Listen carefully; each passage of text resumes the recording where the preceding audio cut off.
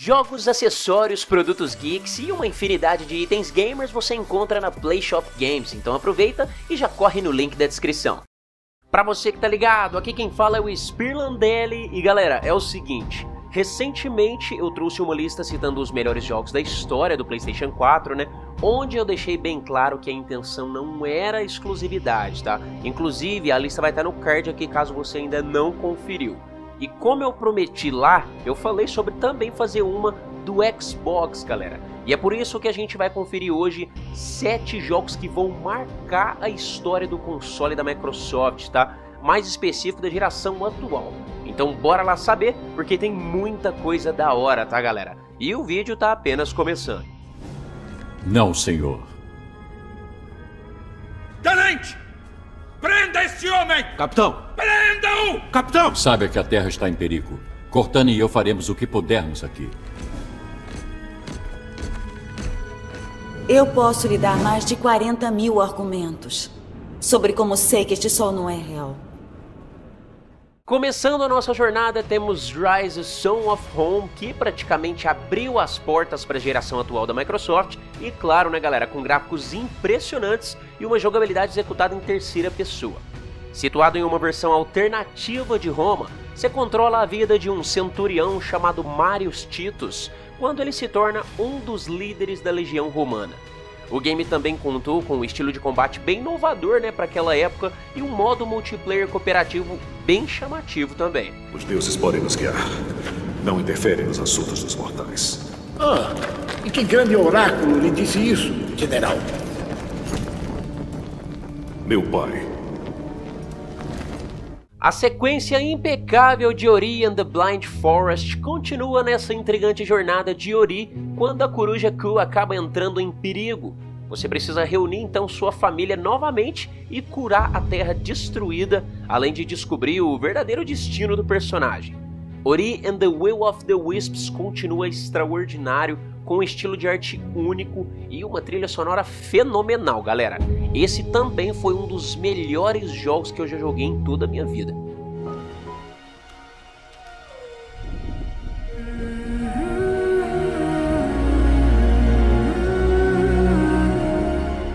Em seguida, temos a misteriosa história de Kate Dias na busca incessante sobre a sua origem. Jogada em terceira pessoa, a gente agora vai se aventurar em uma jornada para descobrir a conexão da personagem com o inimigo e o verdadeiro perigo que assola ela mesma. Lançado no dia 10 de setembro do ano passado, Gear 5 nos trouxe gráficos impressionantes e cenários que nos deixam maravilhados, além, é claro, de uma jogabilidade bem agradável comparada aos títulos anteriores da série. Obrigado pela ajuda. Ei, cadê o Del?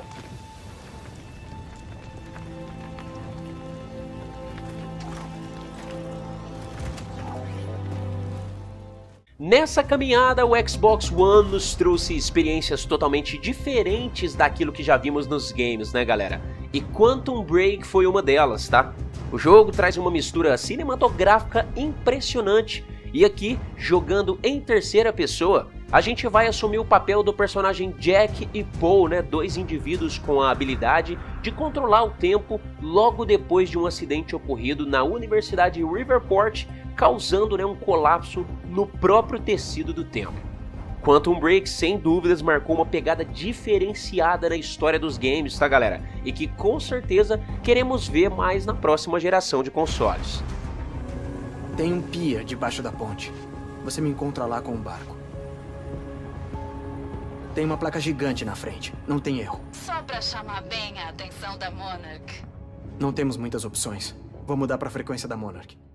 Em seguida é hora da gente acelerar em uma versão totalmente estilizada da Inglaterra. Dessa vez, Forza Horizon 4 conta com ambientes e tipos de climas totalmente determinados né, por estações, entre primavera, verão, outono e inverno, tá galera? Dependendo da temporada, o jogador pode ter acesso a lugares novos, né? Além, é claro, de que a temperatura pode afetar diretamente o desempenho ao dirigir. Além do mais, Forza conta com uma infinidade de carros e um sistema de customização muito bem aplicado, hein, pessoal? Fortalecendo ainda mais esse universo Forza que a Microsoft tem feito.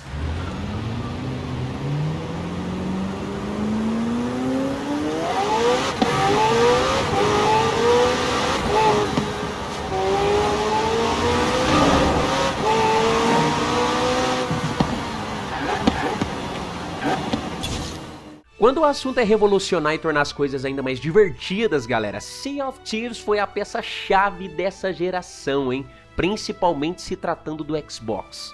Um dos melhores multiplayers da geração nos coloca em uma tripulação pirata de até quatro jogadores online, né? Que podem explorar os mares e suas ilhas na esperança de encontrar tesouros. Ao longo do caminho, você também pode encontrar outros piratas e se envolver em confrontos intensos no mar e em terra também, na intenção de unir suas forças para ganhar dinheiro. Sea of Thieves continua sendo um bom exemplo a ser seguido e vale muito a pena jogar caso você ainda não o conheça.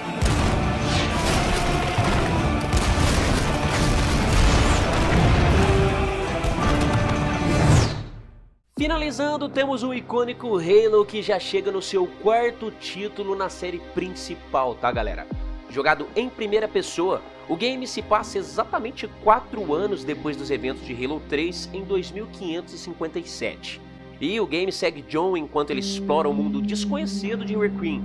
Aqui, o jogador descobre novos inimigos, um grupo divergente de Covenants recém-formados, além de histórias misteriosas sobre os percursores, tá? Halo 4 fecharia com chave de ouro essa era da Microsoft, que promete também trazer muitas novidades na geração atual ainda. Com todo respeito, senhor, eu sei o que vi. Com todo respeito, soldado. Não vou comprometer a minha nave por causa das alucinações de um Spartan envelhecendo e de sua inteligência artificial defeituosa. Pois é, hein, galera, o Xbox tem muita coisa da hora para jogar ainda, tá? Mesmo que uma nova geração venha.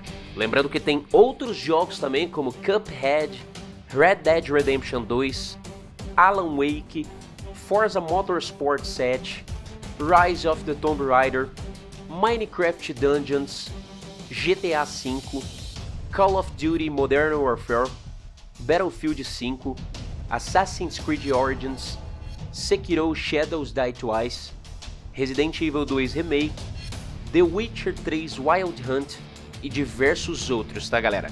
E como vocês já sabem, né, se tiver algum jogo que você não viu na lista, né, e que você jogou e curtiu, já deixa aí nos comentários para ajudar o seu amigo na hora de escolher jogos legais também, beleza?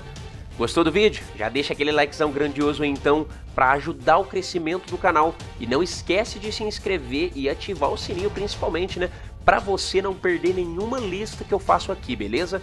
Um forte abraço, tudo de bom sempre e até o próximo vídeo.